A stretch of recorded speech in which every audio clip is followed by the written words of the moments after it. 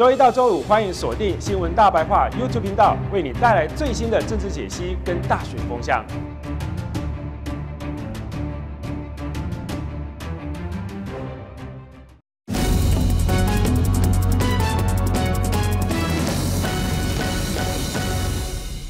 三点十九分，回到新闻大白话的现场。嗯，李嘉芬上礼拜他们的农舍哦，发生这个农直升机在他们农舍附近里面绕绕，这画面可以看出来，这直升机小小一个点的，好像蚊子一样在那飞飞飞。后来发现说，它怎么会盘旋在农舍上面呢？而且这个时间哦，好像大概至少拍了两三分钟这样一个时间哦。可是说训练嘛，说演习嘛，啊也没有看到人降下来，也没有看到有任何这个搜救的这种动作，所以看起来这大家就很疑惑啊，说哎，难道怎么会动用国国家机器来啊查这个李嘉芬的农舍吗？吼，所以当初拍到这影片的人，他觉得非常惊恐啦，怎么会有直升机？而且可是如果你说要拍照的话，其实现在的科技来讲，空拍机好像比较方便，直升机其实反而拍不到什么。还是说你要的其实不是拍照？所以大家马上有这样的疑惑。不过军方也马上解释了啦，有提出一一些一些解释。好，那在军方解释之前，我们先来看一下。不只有直升机，还有照相机。就是记者他们要去拍农舍的这个过程中哦，可以看到这个记者他拿了这一个哦棒子，好，然后拿了这个相机，用这样的方式来拍。那这个墙内当然已经算是李嘉芬他们私人的土地了啦，用这样的拍算不算骚扰？然后后来才发生说，用工人好像有疑似洒水喷水的状况。哦，所以不只有这个照相机、直升机。其实这种程度都让人家觉得已经骚扰到李嘉芬他们家里面了。好，那林嘉欣说这个影片哦，从这个影片来看的话。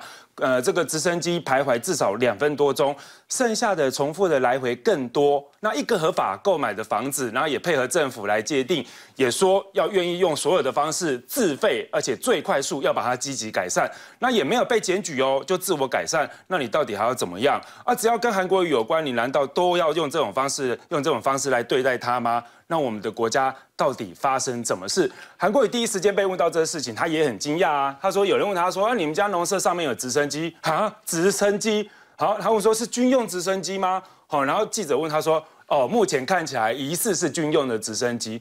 韩国就很吃惊啊，说那为什么要调军用的直升机去看我们家这房子？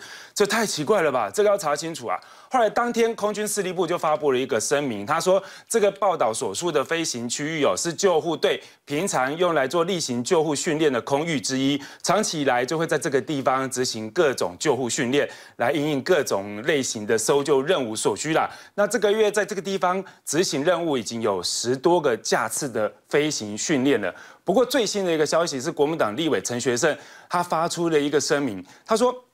军方他们最主要的任务，哈，似似乎不是这一种类型的救护，而且如果你要做救护的话，哈，一般是在海边来做进行吊挂，或者是在高山上面进行吊挂。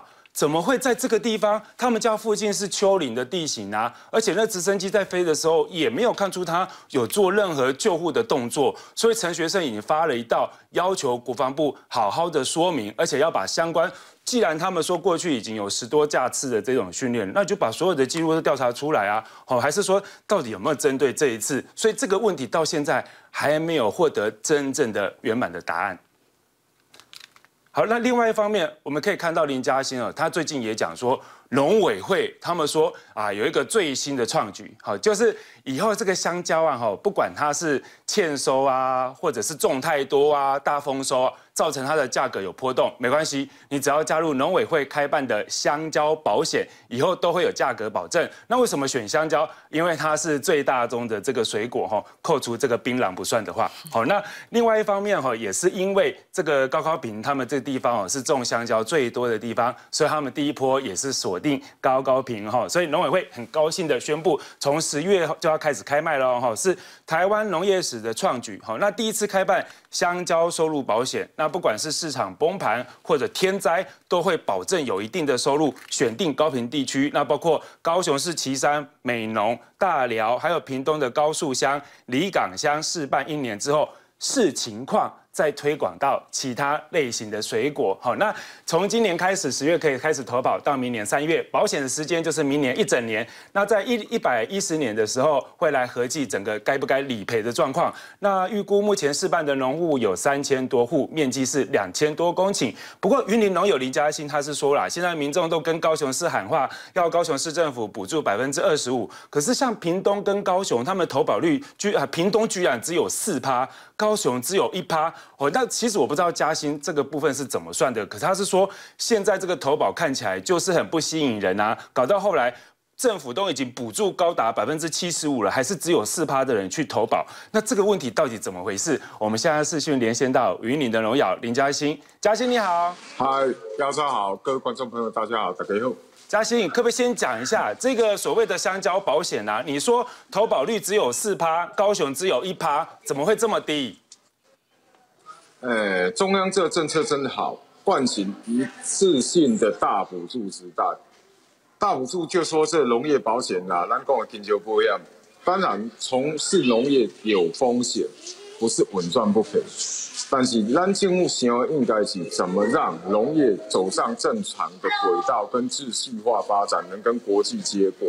但是，我们的农委会很可惜，丢出了一个农业保险，希望各县市配合，农会补助五十趴，屏东县配合再加码二十五趴，等于七十五趴，结果投保面积只有四点趴多，这代表上这个保险本身就是问有有问题。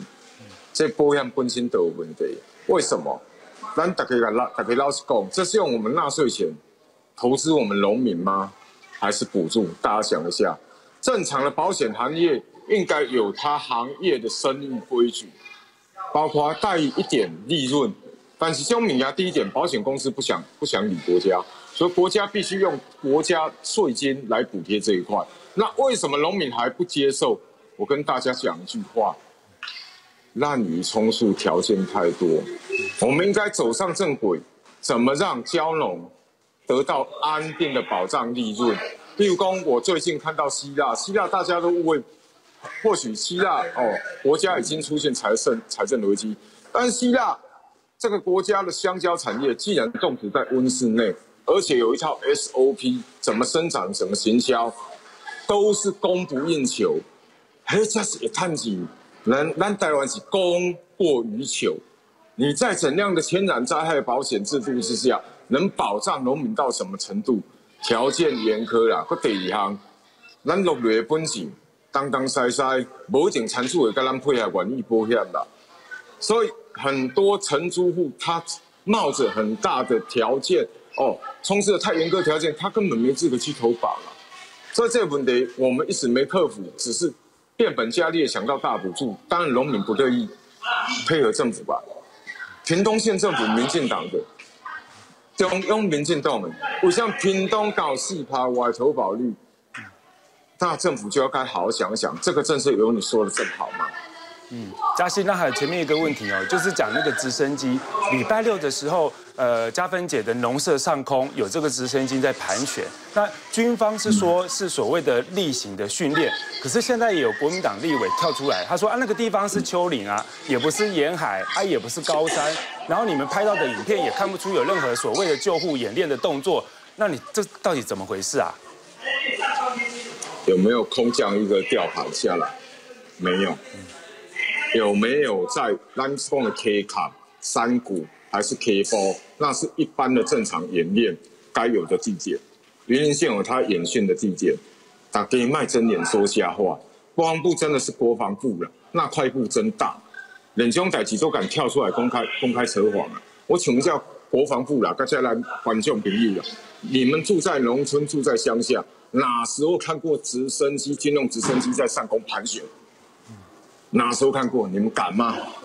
针对韩国就针对韩国，不要不要 g i 说在做演训、搜救训练。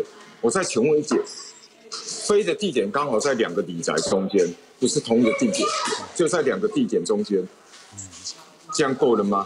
嗯，这样够了吧？嗯，嘉欣，那当初拍到影片的人有没有心生恐惧或者害怕？呃，拍到恐。影片的人就是小弟本人，我认为惊讶，嗯，为什么让国高？我第一时间联想，这不是轻型机，这是重型机，已经。嗯。